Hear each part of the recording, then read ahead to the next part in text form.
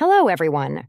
Welcome back to our channel today. We're talking about an exciting what if scenario that has the potential to change the way we see and connect the Bicol region. What if there were a bridge connecting Camarines Sur and Catanduanes? Let's dive into what such a bridge could mean, the potential benefits and the challenges that come with building it. Why connect Camarines Sur and Catanduanes?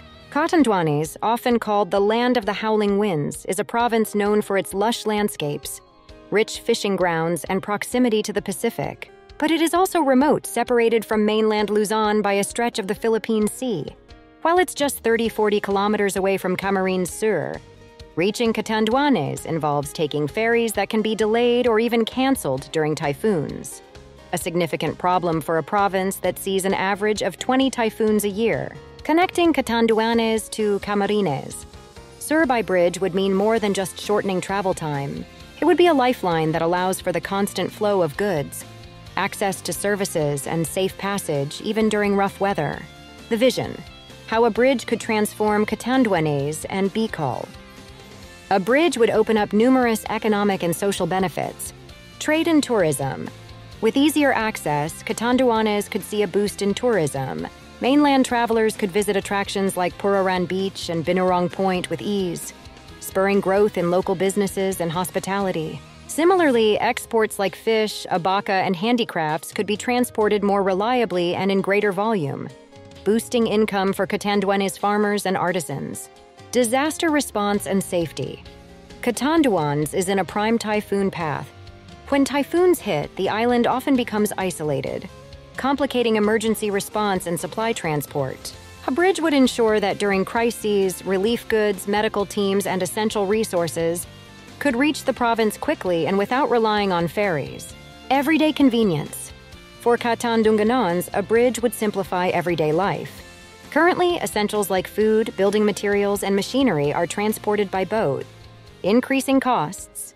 With a bridge, travel would be faster and more affordable, reducing expenses for locals, possible route, and feasibility. The closest feasible connection would likely be from Caramoan Peninsula in Camarines Sur to the northwestern shore of Catanduanes. The route, approximately 30 35 kilometers, would need to span open sea, requiring advanced engineering to withstand waves, currents, and typhoons. Given the distance and environmental conditions, the project would likely involve a series of pylons and suspension spans, perhaps similar in scale to bridges seen internationally over similar coastal distances. Engineering challenges aside, this ambitious undertaking would require a significant budget and long term commitment, economic landscape, and political influence. The economic impact could be transformative, but the proposal also faces complex political and business dynamics.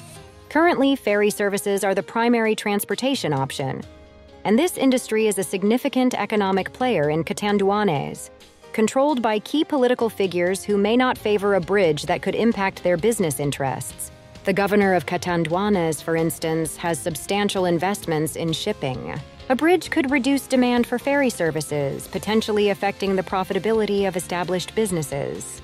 With political figures holding financial stakes in these industries, garnering local support for the bridge may face hurdles, as those who benefit from the current system might resist the change funding, feasibility studies, and government willpower, funding a bridge of this scale would require substantial government investment, likely supported by partnerships or foreign loans. Feasibility studies, environmental impact assessments, and public consultations would all play a vital role in determining whether this project is practical. The project would need clear and unwavering support from both the national and local governments as well as advocacy from community leaders who understand the long term benefits over short term economic interests. It would also require substantial initial outlay and a commitment to rigorous maintenance to ensure the bridge's longevity against natural forces. The bigger picture, economic and disaster resilience? Beyond convenience, a bridge could be a critical investment in disaster resilience. Typhoons and floods often isolate Catanduanes, creating urgent needs for food, fuel, and medical supplies. With a bridge, Catanduanes would remain accessible year round, strengthening its economic stability and disaster preparedness. Imagine a scenario where emergency teams can reach Catanduanes directly by land, or where goods can move freely even during a storm warning.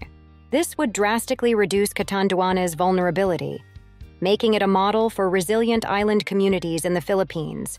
Moving forward, challenges and opportunities. Building a bridge from Camarines Sur to Catanduanes is a vision of resilience, connectivity, and economic growth. However, it is not without challenges. Environmental concerns, the substantial investment needed, and political interests stand as obstacles. Yet the potential benefits are vast. A connected Bicol, a resilient Catanduanes, and a model for infrastructure that values people's safety and well being. If successful, this bridge could become more than just a physical link. It could be a symbol of progress and disaster resilience in the Philippines, showing what is possible when communities and leaders unite for the common good. Thank you for watching. If you enjoyed this discussion, give us a like, share your thoughts in the comments, and subscribe for more topics exploring Philippine infrastructure and development. Let's keep the conversation going on how we can build a stronger, more resilient future for our nation. If this video sparked your interest, give it a thumbs up, comment with your thoughts, and hit that subscribe button for more deep dives into Philippine infrastructure and development possibilities.